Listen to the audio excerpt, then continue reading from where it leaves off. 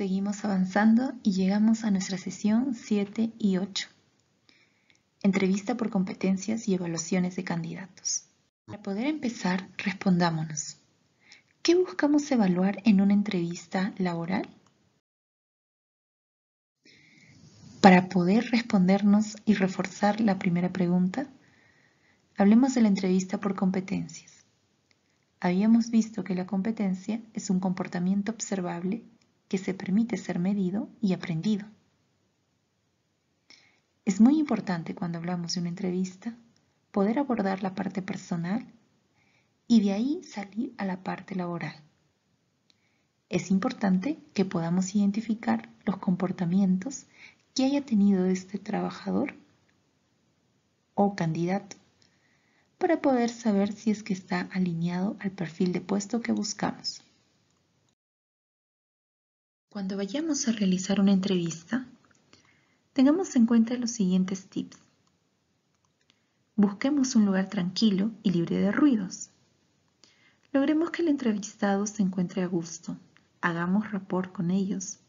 Utilicemos un tono de conversación amigable y no de interrogatorio.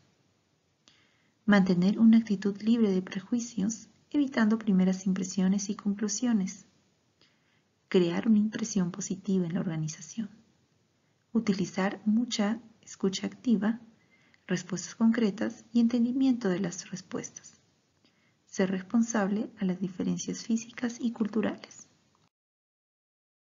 Vamos en los tipos de entrevista. A continuación, la metodología STAR.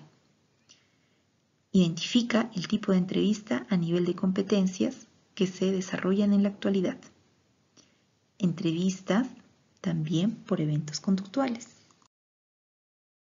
La metodología STAR nos va a permitir abordar a través de la entrevista las principales competencias de un candidato. STAR nos invita a situar al candidato en una situación puntual, evitando que caiga en información irrelevante.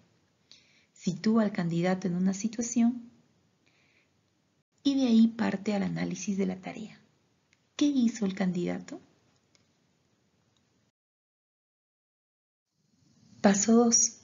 Nos permite identificar el tipo de participación que pudo tener en la experiencia laboral. Y finalmente, nos ayuda a evaluar si llegó a implementar acciones y cuál fue la de mayor impacto. Seguidamente encontramos las entrevistas de eventos conductuales y esta se realiza pidiendo a las personas que puedan pensar en una situación laboral importante en las cuales los resultados han sido satisfactorios. ¿Qué llevó a esa situación? ¿Quiénes estaban involucrados? ¿Qué hizo usted? ¿Qué pensó? ¿Qué sintió? ¿Y cuáles fueron los resultados? El empleo de una entrevista por competencia tienen diferentes ventajas. Las decisiones de selección están basadas en la medición objetiva de indicadores conductuales. La estructura de la entrevista disminuye los prejuicios del entrevistador y las competencias proporcionan un común denominador para los entrevistadores. Finalmente, será importante continuar con el proceso y evaluar a nuestros candidatos a través de herramientas psicológicas que nos ayuden a complementar el conocimiento que tenemos del perfil de la persona. Guía a la práctica. Preguntémonos, ¿cómo se realizan actualmente los procesos de reclutamiento y selección en las empresas top del Perú? Tomémonos unos minutos y investiguemos.